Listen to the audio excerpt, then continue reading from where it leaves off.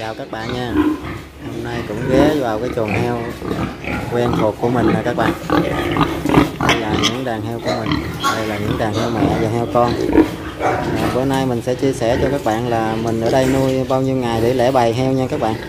Thì nói chung mỗi chuồng thì mỗi mỗi nơi nuôi có khi khác nhau. Ở đây thì tầm khoảng cỡ một tháng à, 5 đến 10 ngày là mình lẻ nha các bạn. Thì cách thức mình nói lẻ bày thì à, tùy theo các bạn tập ăn sớm hay trễ thôi nhiều khi các bạn tập ăn sớm thì có thể là các bạn lẻ sớm hơn. Còn mình ở đây nuôi ở ờ, quy mô ờ, gia đình mình nuôi ít ít vậy nè các bạn. Thì mình cứ ờ, cảm thấy nó ăn cứng thì mình lẻ ra. Ví dụ như cái bầy nào mát sữa thì mình sẽ tập cho nó ăn sớm. Cho cái bầy đó nó mau lẻ bầy. Và bầy nào mà nó không mát sữa, nó chậm chậm thì lại để nuôi chung với mẹ nó. Thời gian hơi dài hơn chút, cho nó cứng cứng heo, nó mau ờ, cái thang ăn đó các bạn coi là nó, nó lớn lên.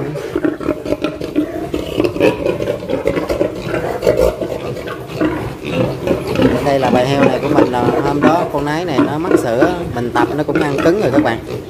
Thì bắt đầu là mình vài bữa nữa mình sẽ tách bầy nó ra. Thì mình để đây thì khoảng cỡ ờ, 5 ngày nữa mình sẽ lẻ. Từ ngày đẻ tới nay cũng ờ, khoảng tháng rồi các bạn thì bây giờ mình tập cho nó ăn thấy cũng ổn rồi. Giờ để mình gãi cắm khô cho nó ăn cho các bạn xem nha cho nó ăn cứng rồi nè.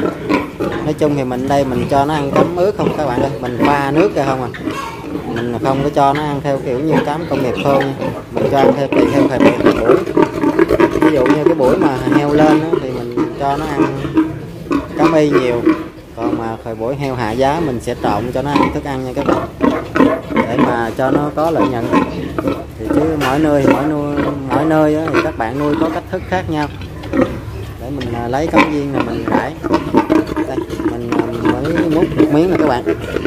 Đây là cái cám viên số à, 0920 nha các bạn. 0920 của Biogen. Biogen. Các bạn kêu cái tên nó vậy mình thì kêu Biogen rồi lớn lên tí xíu thì mình sẽ cho nó ăn cái cám ờ, 20 50 đó, bây giờ là nó ăn cũng ờ, ổn rồi các bạn coi như là nó ăn cứng rồi đó. Nó đi phân không có tiêu chảy nha các bạn. Đây. Các bạn đã xem những nhiều video trước mình có làm về con heo này nè các bạn. Nói chung là mấy video trước thì mẹ nó mắc sữa hôm nay thì mình đã tập năng heo con không có gầy nha các bạn. Heo con vẫn ổn định nè, vẫn tốt.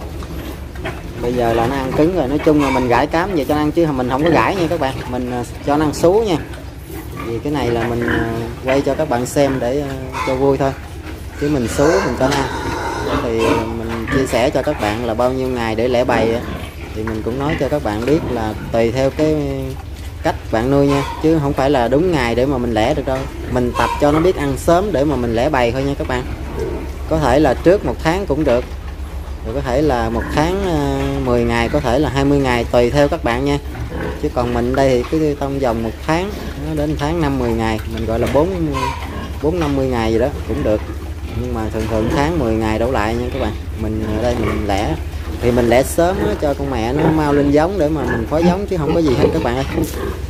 Đó thì mình nuôi heo mình tính toán mình có kinh tế một tí. Chứ còn nói về bao nhiêu ngày để lẻ thì mình không có biết trước được bao nhiêu ngày nha các bạn. Đó là mình nói theo cách thức mà mình nuôi ở nhà mình đây thôi. Còn có khi mỗi nơi mỗi các bạn nuôi nó sớm hơn không chừng. Thì đẻ ra có thể cả tuần rồi các bạn tập ăn. Rồi có thể là nửa tháng rồi nó cứng lên rồi các bạn có thể là tách bày cũng được nhưng mà nó hai mẹ thì nó mau lên giống thì mình bơm nó sẽ đẻ nhanh hơn nữa các bạn. Còn mình đây thì mình nuôi nó, nói chung cứ tà tàn nè các bạn ơi, chứ mình cũng không có rút rỗng gì mấy nữa. Cứ thấy nó lớn khỏe mạnh, rồi nó ăn cứng cáp, rồi nó đi phân không có tiêu chảy thì mình sẽ tách bày ra các bạn ơi. Rồi lúc đó mình nuôi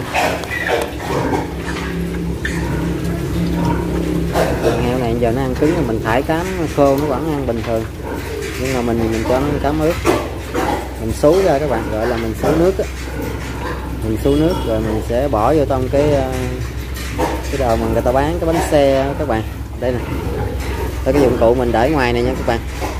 Chút xíu chiều á, mình ờ, sẽ ngâm cám vô đó. Ngâm vô cái thao.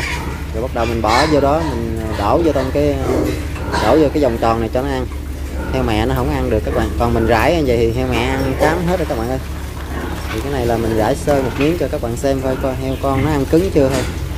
Đây là nó ăn cứng rồi nha các bạn. Thì cái đàn này nó ăn tháng ờ, mấy ngày rồi đó.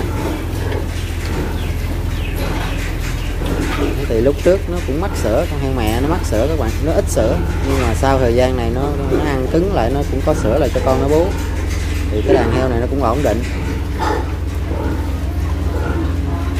Thì trong chăn nuôi thì mỗi người có một cách thức nuôi khác nhau. Thì mình chia sẻ cách của mình cho các bạn nắm để mà các bạn xem cho vui. Thì trong thời điểm mà mình nuôi heo mới có giá thì mình sẽ cho nó ăn cám thường xuyên nhiều hơn. Úi, con heo này sao mà dở cái cái cửa này lên cao dữ vậy?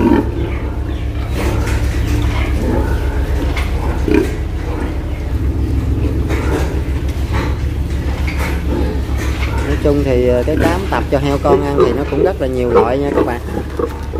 Thì các bạn ở đây thì ờ, các bạn ở ờ, nơi nào thì có cái cám thì các bạn sẽ lựa chọn cái cám cho heo con ăn. Thì nói chung cái cám nào cũng tốt. Thì heo nó ăn cái nào mà mình thấy cảm thấy mà nó có cái sự phát triển tốt á, thì các bạn sẽ chọn lựa cái cám đó cho nó ăn. Chứ cũng không phải bắt buộc là cái cám đó là một loại cám gì đó cho ăn nó tốt. Mình sẽ tiền mà nó ăn lại ờ, mập heo không bị bệnh ít chảy. Đó thì chúng ta sẽ sử dụng cái đó nha các bạn. Nó ăn rất là mạnh là mình đổ vô bao nhiêu nó cũng ăn hết đó. nhưng mà mình tập thì mình cho nó ăn vừa phải nha các bạn. Như cái bầy này thì mình cho nó ăn trung bình khoảng cỡ ờ, gần nửa ký nha các bạn. Đó, gần nửa ký mình pha loãng ra khoảng ờ, cỡ 2 lít nước mình nhắm nhắm vậy thôi chứ mình cũng không có đo đông cho kỹ rồi mình nhắm nhắm đó khoảng tầm 2 lít nước. Thì nó loãng nước thôi các bạn. Nó uống từ từ hết rồi chứ cũng không có làm đặc. Mình làm đặc thì sợ nhiều khi nó ăn nó cũng không có no các bạn. Nó, uống nước nhiều nhiều nó no. Mình ở đây đặc biệt là cho nó ăn cám ướt toàn bộ heo thịt heo nái heo con rồi cũng vậy hết các bạn chỉ có rải cắm viên là mình nhử nó thôi. Nhử nhử cho nó ăn cho nó quen miệng vậy thôi. Chứ mà nó ăn cứng thì mình sẽ tập cho nó ăn cắm ướt hết. Mình sẽ pha loãng nha.